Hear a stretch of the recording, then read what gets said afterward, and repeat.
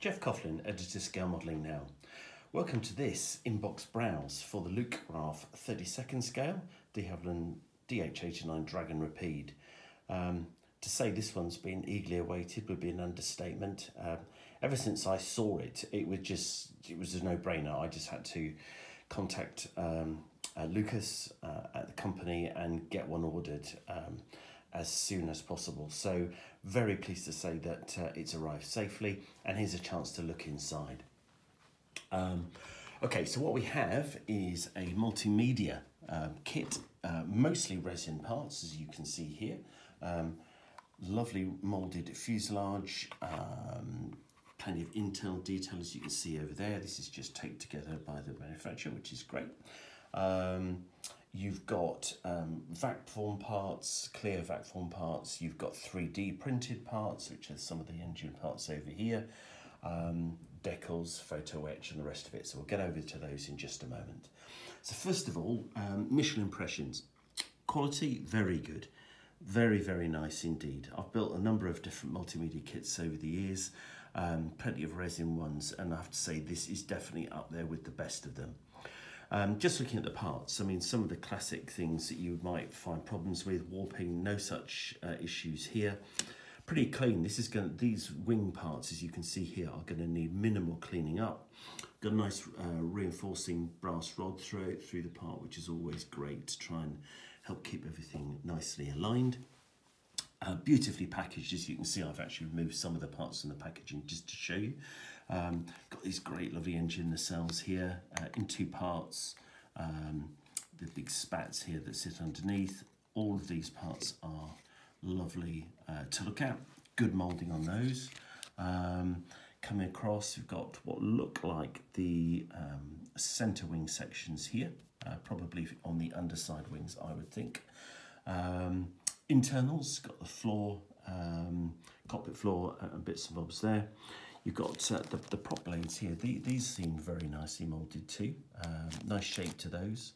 Um, and the struts as well, which have got the classic uh, brass uh, strengthening rods inside, which is also good.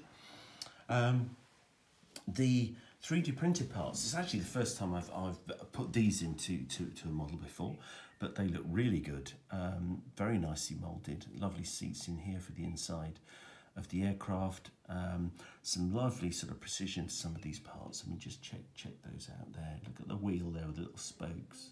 Absolutely fantastic. So I'll be using cyano to attach those. So there won't be an issue with that. Um, coming across to some of the other parts, um, very innovative this. You've got um, some lovely uh, clear part, clear windows here photo etch uh, and photo etch is interesting because you've got the window surrounds You've got bracing wires, the rigging bracing wires, which is good. You've got stitching for the underside of the fuselage, which is great. And any number of other little um, additions that you can see there. Um, uh, instrument panel, which is good. That'll be for the photo etch part over here, which is good. Uh, the decal sheet's interesting. Um, you've got three options, I think, on, on the decal sheet. Um, they do look a little bit on the thick side, but that might just be me uh, looking at those. So I certainly will need, if we're going to use the decal sheet, I'm not sure yet that I am, but if we do, then I'll need to just remove, uh, I think, the um, codes from the backing paper, I think they were sort of from the backing film, I should say, just to try and um, make them look uh, painted on, which would be great. Um, the instruction book's good. I like this. You've got a colour instruction book, which which is good. Um, you've got very clear layout of the parts. You've got very clear indication of what the parts should look like once they are assembled. And you've got nice colour coding too. So it's, looking at the model, I don't think it's that complicated. It's, it's not a complicated aircraft yet. There's plenty of detail in here. And I think that's one of the exciting things is that my hope is that we can make good progress on this when I start the build. Um, I'll be starting to build very soon now in scale modelling now, which would be good. Um, just finish off the current little project, but get some lovely little hints and tips here. Like for instance here, the dihedral on the wings, love that. Love the way you've got the option here to include the engine or to pose the engine outside the aircraft afterwards. Um, plenty of good indication as to what you need to do and where you need to do it.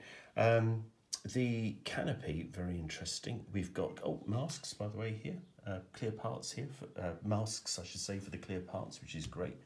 Um, and just popping back over to the canopy for a moment, just meant to point out just how beautifully moulded that is. That's a vac form canopy, but gosh, that's clear. Absolutely stunning. Back over here, uh, lovely little touches here. Notice this, you've got a couple of chairs, little armchairs outside the aircraft. I love that. That should make for a nice little diorama with one of the engines out on a little uh, dolly. I think that's cracking that, and that I would think would be a good way to go in posing the model. Um, and then you've got the um, photo etch uh, guide here for the rigging wires, bracing wires that need to be added. Three different, uh, three, two, three, yeah, three different schemes. You've got an Israeli aircraft here, US Army Air Forces uh, aircraft, and of course you've got um, the British uh, RAF version on the back. So overall, I think that's an absolutely superb package. I'm really excited by this uh, as a build, as I hope you will be too. So the idea is essentially to get into it soon enough. And um, for me, I think that's uh, right out of the top drawer. Some of the best, um, well, it's the best multimedia kit I've ever seen. Um, I think that that would be fair to say. And I'm just excited to see how it all goes together, just as I'm sure you are too. So there we go. That's the Lukgraph um, multimedia. Um, DH uh, 89 Dragon Rapide. Um, Excellent, love it.